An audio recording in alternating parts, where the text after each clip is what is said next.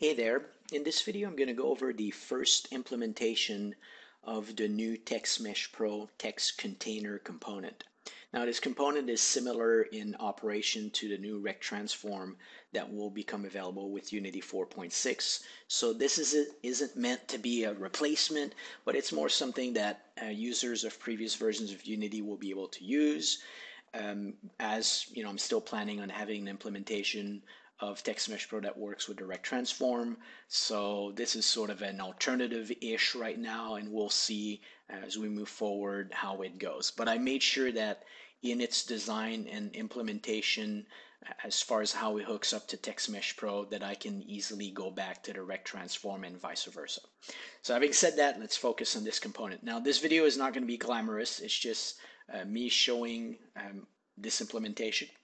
Um, in the past when I create these videos, uh, obviously I'm doing it to get your feedback, but most of the time I run into issues and bugs and whatever, so it's kind of a good thing for me to make those as it allows me to uncover stuff.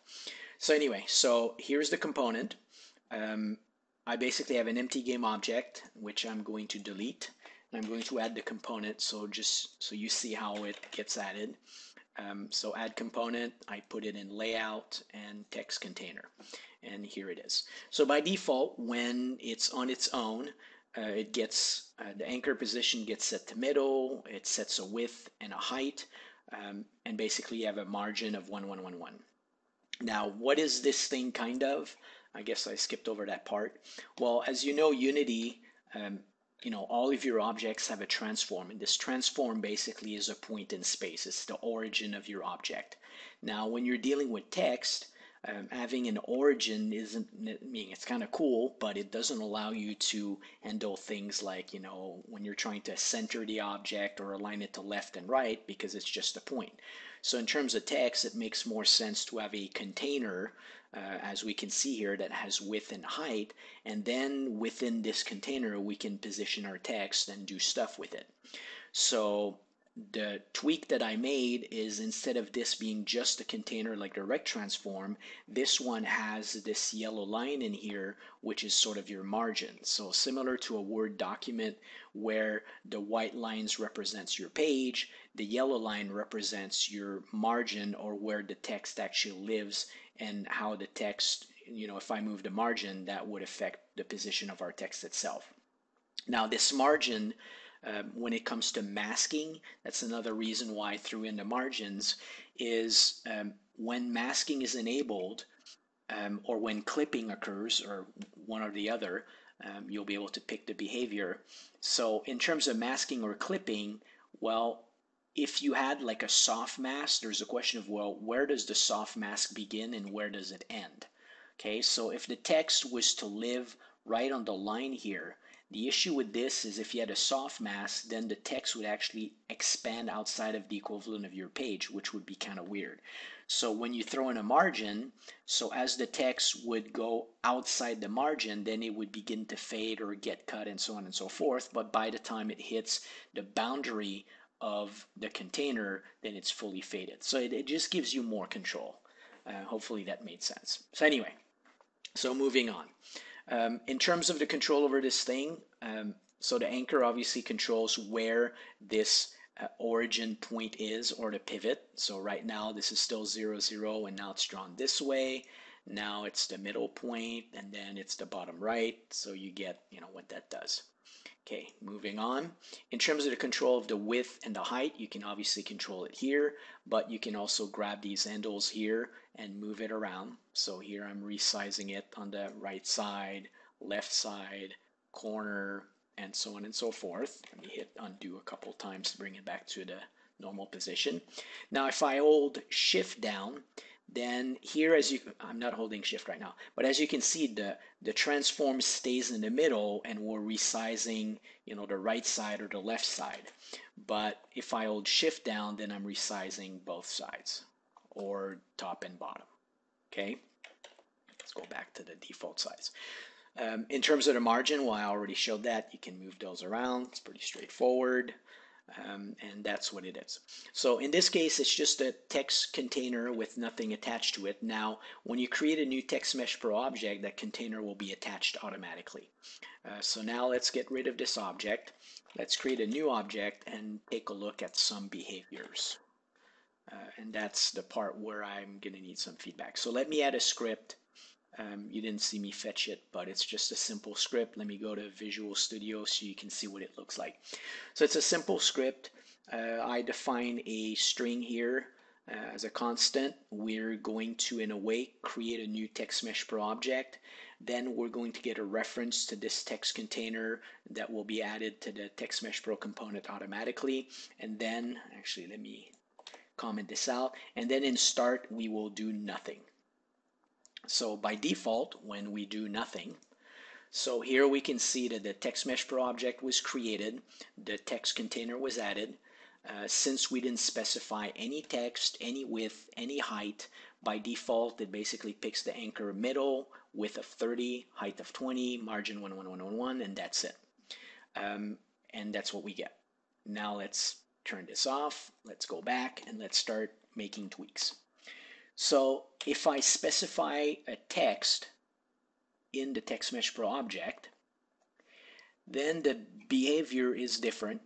Basically at this point, still same pattern. We created the text mesh pro object, we added the component, the container, but now since we have text, my assumption is, well, if you're gonna have text, you probably want the container to match the size of the text, which it does here. So in the case of this uh, text or, or string, it basically is 44.9 whatever width and 5.5 high. Now at this point I can obviously uh, resize this and move it around uh, and since I haven't told it to control the text it doesn't really control it other than the text is anchored over here um, so if we look here actually let me demo that real quick and make it wider um, so the advantage of having this text container is in the current version of TextMesh Pro that all of you guys have, um, there's this yellow line that represents the line length. But the line length um, determines where word wrapping is and it has no bearing on centering or any of this stuff. Now, with the new text container, that's all about the change. So now if I choose left justification, we're left justified. If I pick center, we're now centered between the two margins. And right there, that's a different behavior from the current version of Text Mesh Pro. If I pick right, then we'll right align like we are here. And then with these gadgets here, I can control it align to the top, align middle, align bottom. Okay. And since I only have a partial line of text showing justification or justified text flush on both sides, you know, doesn't make sense because we don't have enough text. And I'll, I, I can show that later on. So anyway, so in terms of the margins, again, as I said, the margins do control where the text is. So if I drag the margin around and drag it here, it obviously affects our text itself. And if I turn on word wrapping, for example, let me move this back here and here. Now if I shrink the area, then we get the word wrapping as we would expect, okay? And same thing if I was to use center justification. You know, again, you can see that the text lives within the margin. Now, uh, centered and expanding the margin looks, you know, it kind of behaves in a interesting way as, you know, it shrinks, but it still remains centered. Okay, let's see, next behavior. So let me flush this out, go back to the script. So now we just created the object and added a text, uh, uh, provided some content for Text Mesh Pro. Now what happens if we specify a width? So if I hit play, now we can see that unlike the previous example, now our container basically has the width that we specified, which is 100, but the height, since we never specified any height, it basically fits it to the height of the text. Okay.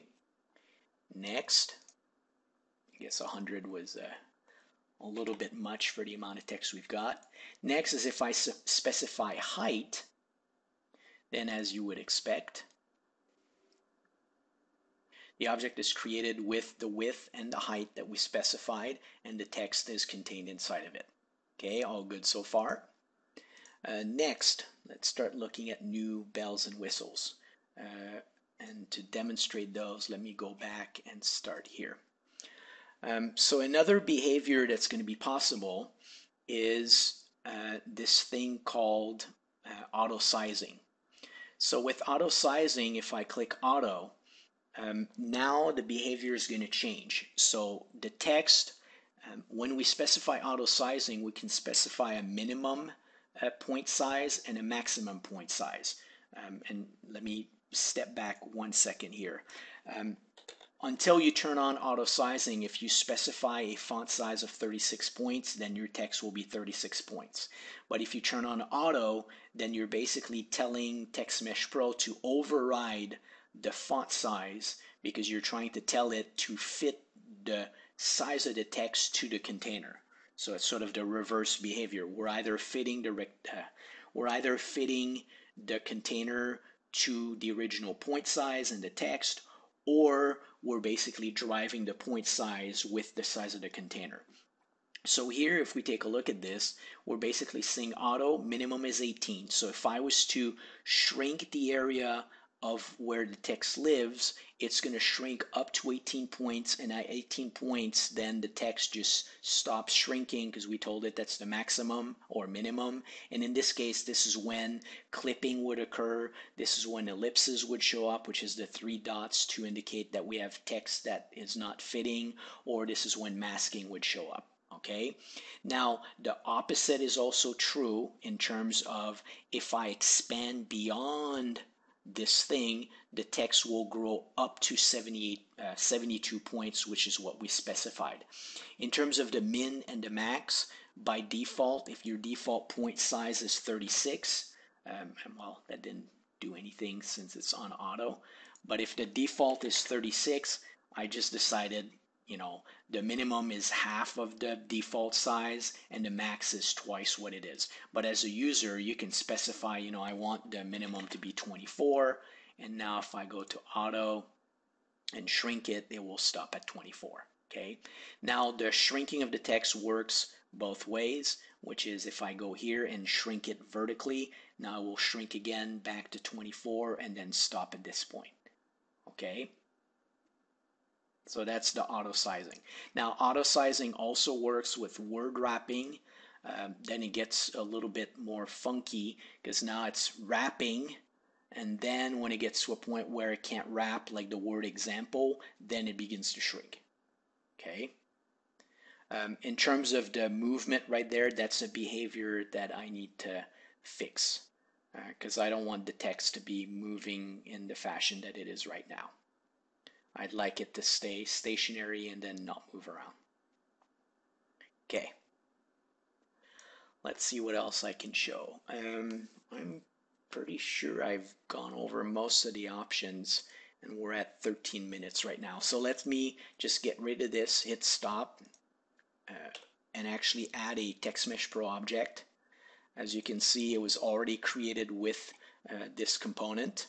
Um, and basically same thing, enable auto sizing and we can see that it does exactly as we expect. If I add more text, um,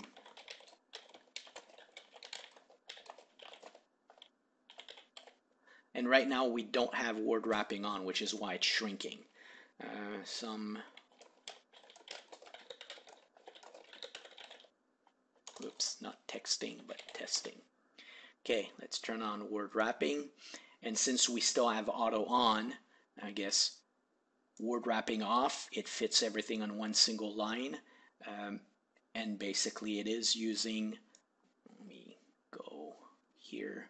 As you can see, it's using the auto sizing. It's going to increase up to 72. And 64, I guess that text is getting pretty small for the video.